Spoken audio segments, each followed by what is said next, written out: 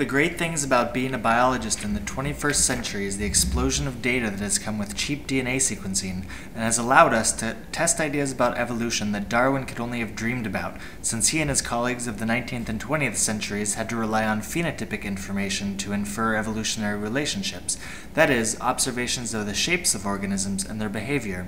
The same was true for early microbiologists like Antony van Leeuwenhoek and Louis Pasteur, who were limited to visual observations of microorganisms and observing their reactions to things like light and oxygen.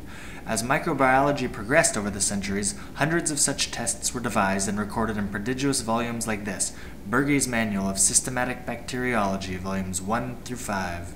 But over the past 20 years, DNA sequencing has preempted the simplest of these tests, and we can predict a lot of the properties of a microbe directly from its genome sequence.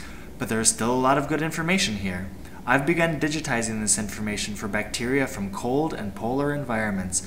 So far, I've imported data for 100 genera and 300 species of bacteria, with over 800 phenotypic traits among them. Still less than 10% of the total. If you'd like to help, please contact me. Together we can bring this valuable information into the genomic era.